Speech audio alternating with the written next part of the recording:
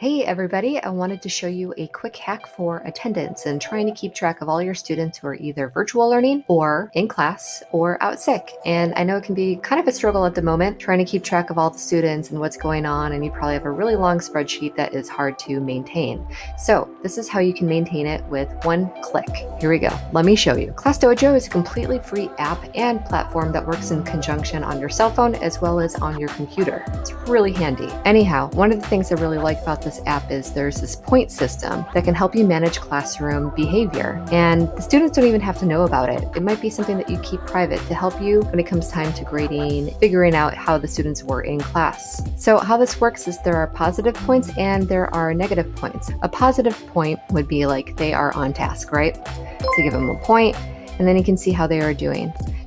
There are also needs work points. Sometimes this helps when you see a lot of students. Like for instance, I see about 500 kids a week. So it's not easy for me to remember always what happened in class from the week before. So this kind of helps me remember what was happening. Okay, so back to our hack. Instead of positive points or negative points, you can also add zero points. Now, these are great ways to give yourself reminders about things that are happening in class. Anyhow, it can also work in a different way for attendance. So, for instance, you may want to have something called in class, or you may want to have something virtual learning, or maybe the kid is actually out sick. This can help you remember if a student was present during a specific lesson or project. Let's go and set this up, I'm going to edit these skills and I am going to create a new skill. And how I'm going to do that is I'm going to do an add skill and I'm going to find a computer for virtual learning. So I'll just do that and I'm going to say virtual learning. I'm going to give it zero points and save it here.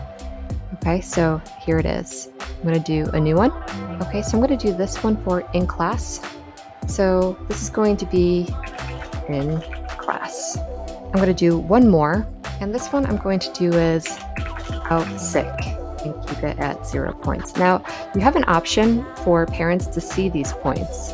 I like to have no points for the parents to see, especially if you're going to do something like this. It's really important that parents don't have access to this information because we're basically using it as our attendance.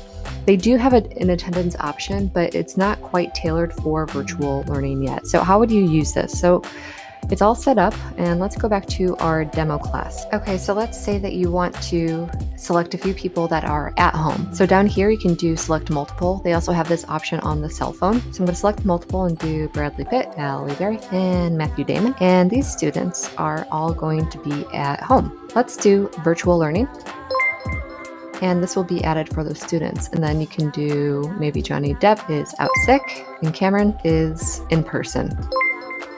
If you want to see these results, then what you do is on the computer version of Class Dojo, you go into Options, View Reports.